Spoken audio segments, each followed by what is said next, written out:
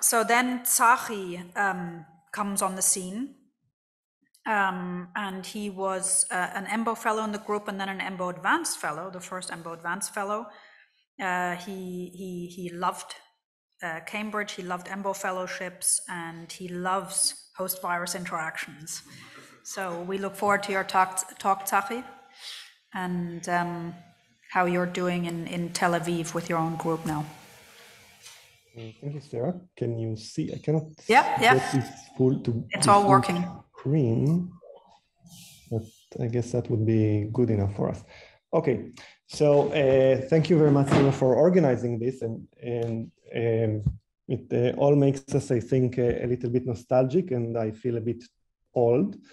Um, as Sarah uh, was saying, um, I work on um, host virus uh, coevolution and just to put um, myself in the settings of the Teich Lab, uh, I arrived a, a bit after uh, she and before JP, and I also overlapped with uh, Ola, and we shared the mutual interest in uh, puffins.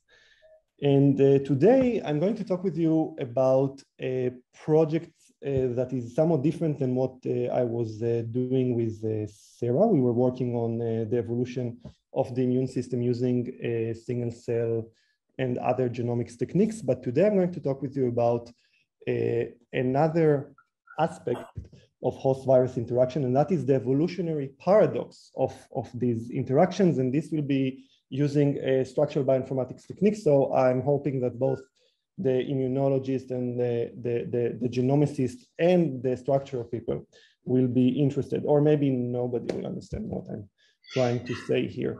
So um, if you put it in presenter mode, then then we then we don't see the little slides on the left. How do we get to the up you. mode? Just on the bottom, yeah, or on the bottom right. Yeah, yeah on the little the little screen icon further down Where? Yeah. I can leave the meeting. This is what I. Never mind. I will need to get next to the minus sign, but it's okay. It's okay. Never mind. Anyway, uh, so um, the uh, interactions between uh, uh, viral proteins and host proteins are renowned to evolve uh, very rapidly. And this is because these proteins are in a genetic conflict. In every case, one of the members of these interactions does not, does not want to interact with its partner, unlike regular proteins within our body. For example, here we have, we have a viral protein that uh, tries to interact with a host protein, so the viral protein in blue, the host protein in, in red. And uh, because uh, the, the red host protein does not want to interact with the, with the virus, it can uh, uh, evolve, it can uh, mutate away from this interaction and the interaction is abolished. However, the virus in turn can also evolve and create another set of mutations and then he will get, the, the, interaction will be uh, regained.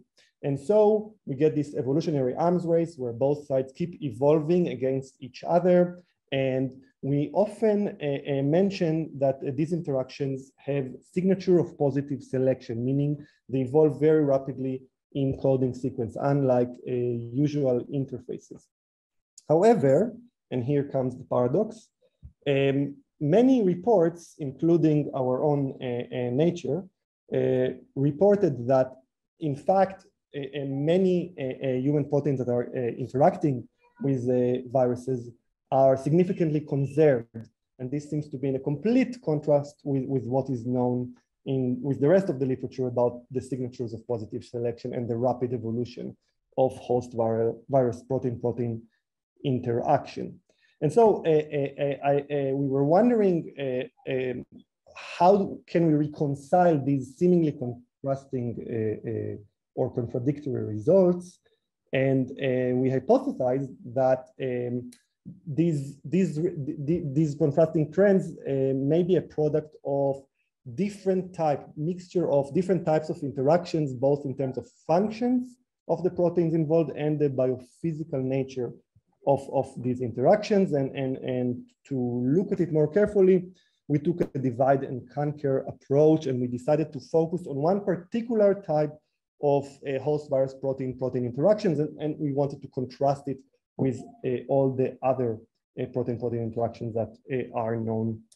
And uh, if we think about human proteins, uh, they're usually composed of several domains. There are multi-domain proteins, as the Sarah showed many, many, many, many years ago. And, and the way these human proteins interact with each other uh, we can uh, segregate them in a very crude way into two different uh, mechanisms. They can either form domain-domain interactions with one of their domains with another domain from another protein, or they can more sophisticatedly interact with a small motif in the other uh, protein forming a domain motif interaction. And, and, and, these motifs, also called ELMs, are basically very short uh, uh, peptides with some regular expression, some uh, motif, very simple, two, three, four, six amino acids. And they are short and simple to evolve, and, and they usually are involved in regulatory in interactions. And for the sake of this presentation and for this work, we will name the, the domains that bind these motifs EBDs, which is just our invention. It's not a, a, a, proper uh, term in the field. And if you think about it, uh, uh, viruses can really utilize these motifs. think about it for a moment, and then I will explain in a minute why. So viral proteins, when they interact, when they want to interact, want to interact with our proteins, they can either eh, eh, eh, interact with other domains through domain-domain interactions or by mimicking these small motifs that I just mentioned, and this is basically a motif mimicry.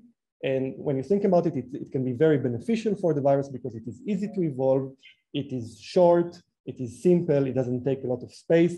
And there you, you basically have an interaction module that is already ready, like it has a, a binding pocket in, in several uh, domains in, in various uh, uh, human proteins. So this is very beneficial for the virus to evolve. And indeed, we and others have uh, uh, uh, looked into this um, we had a work many years ago with Madan, who is going to talk later today, and we showed that this mimicry might of, of motifs by viral proteins might be the most common way viral, viral, viruses mimic our uh, uh protein protein interactions.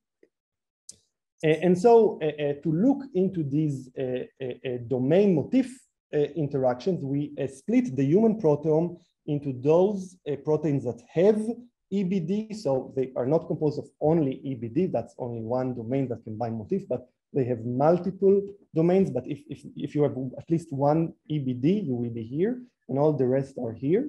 And then within these uh, uh, two sets of EBD containing and non-EBD containing human proteins, we can further uh, divide them into those that have a, a viral interaction, viral protein interactions.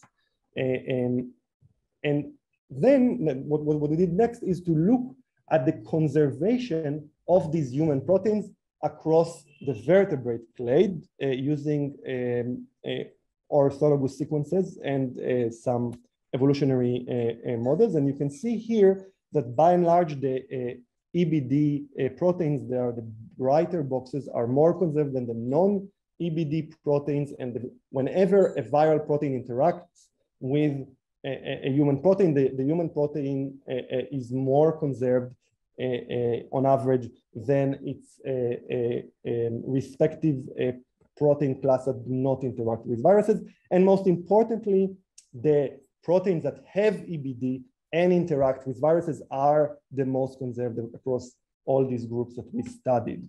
So uh, uh, these viral uh, motifs target basically highly conserved human proteins. Now, uh, we can take these uh, human proteins that have EBDs in them and split them into the region of the EBD domain versus the non-EBD domain. And you can see that the EBDs are even more conserved within the protein that they are contained in. So, so viruses are even clever, not only that they target conserved proteins, they also target the more conserved region within this uh, protein. We can take it one uh, step further and also segregate the EBD, the domain itself, into its core, surface, and interface. Interface is the region where the motif, either of the host or the mimicked viral motif, is interacting with the domain. And you can see here that in all these cases, surface, core, and especially interface, when a viral motif is involved in, in, in interacting with this uh, EBD, it is more conserved.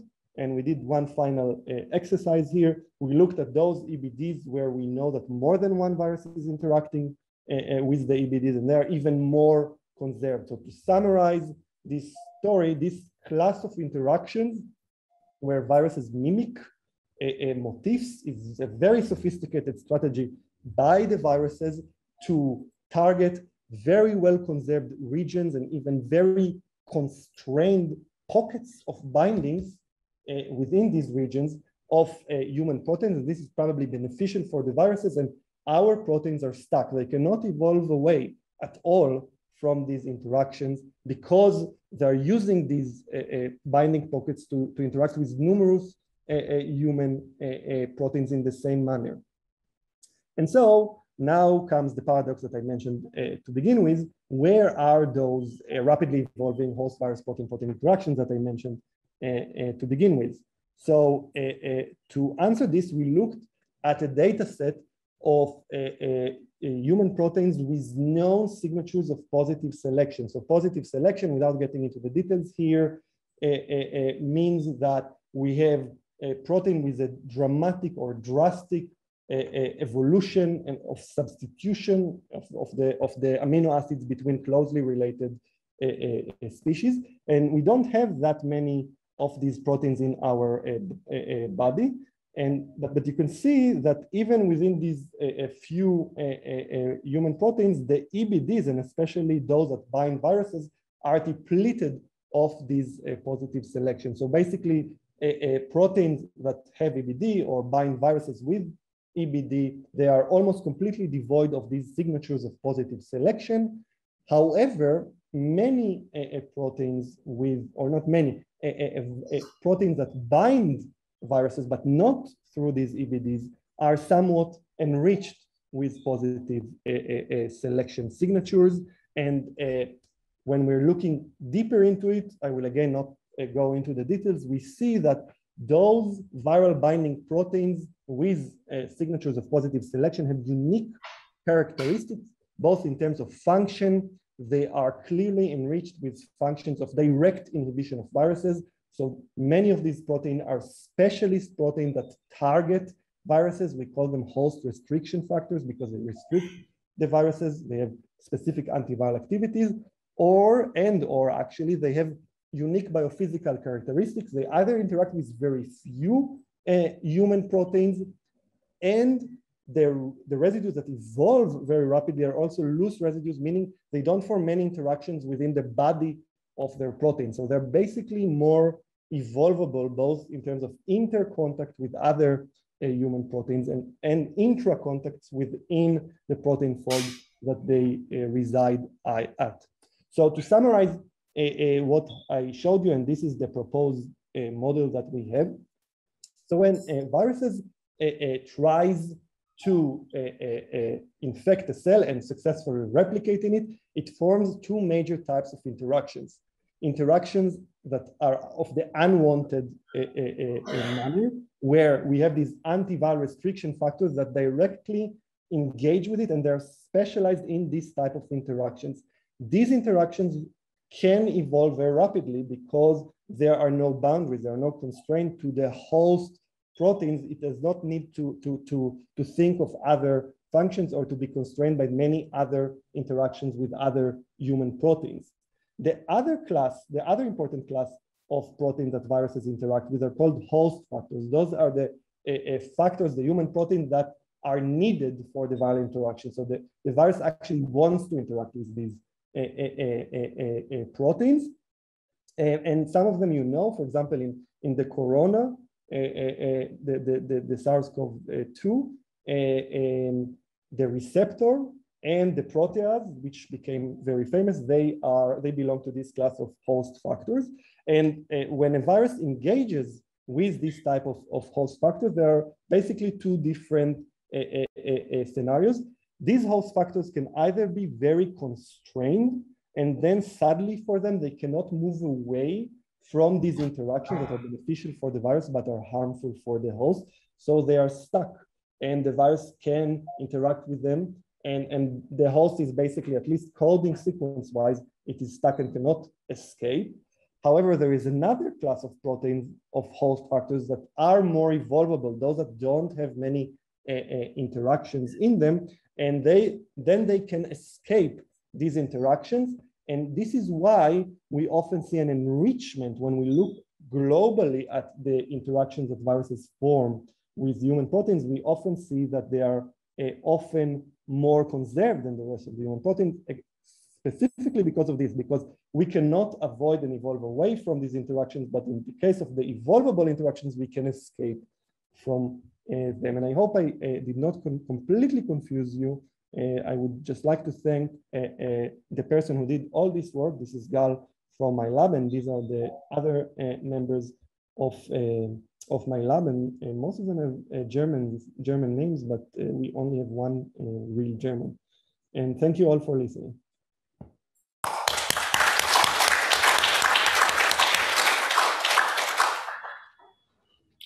Really nice talk, and um, you know, thank you for bringing innate immunity to my lab, uh, Tzachi. You know, it's it's uh, it became a major theme as alongside the adaptive immunity.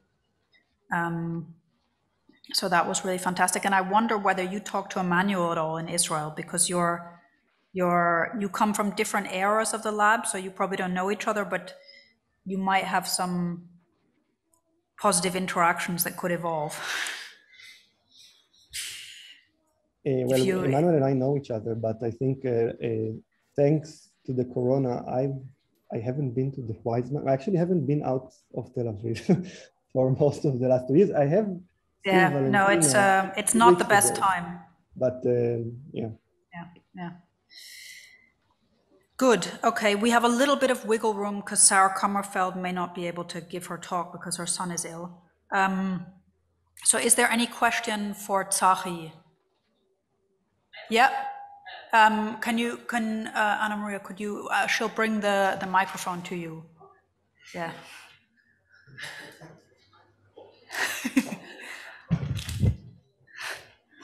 so that the online people can, can hear as well.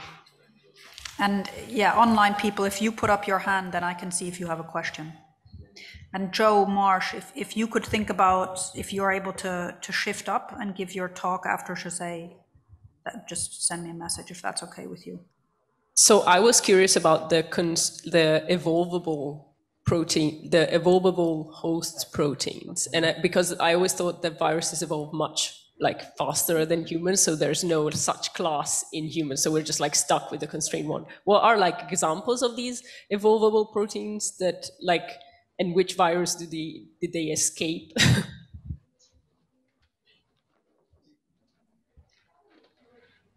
So um, many of these uh, proteins are antiviral proteins, classical antiviral proteins like uh, tetherin and uh, viperin, and, and, and, these engage specifically with uh, uh, uh, viruses. And indeed, you know, the, their evolutionary rate is not as fast as, as, as, the viruses, but it's, it's more of a conflict where you need to think about it from a point of view of a very a big and highly regulated army against you know very few uh, guerrilla warriors basically that are much more free to, to make up their own uh, uh, strategy. But then they're also surrounded by many types of soldiers and sentinels. So when you use your uh, uh better mutational power to evolve against or away from one human protein you will usually bump into another uh, defense mechanism. This is actually another uh, uh um, great, uh, great question, um, great puzzle uh, in, in, in, in, in the evolution of the immune system and why are we even surviving this evolutionary arms race. It's basically our big army, which is slowly evolving, uh, with respect to these very few uh, viral proteins that are rapidly evolving. The, the, the arms race is not symmetrical. Thank you. That's super interesting. Great. Thank you, uh, Tzachi, that was amazing.